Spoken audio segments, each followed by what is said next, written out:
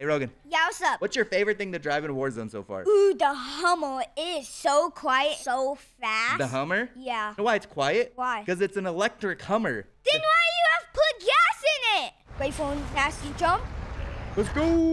Be careful, I had a kid here. Hey, bro, the gas light's on, but we're in an electric vehicle. Why does it say low fuel? That makes no sense. I'm refueling it. Bro, you're putting gas in an electric vehicle? That's like, that's not good. I'm repairing it too. You can repair it too?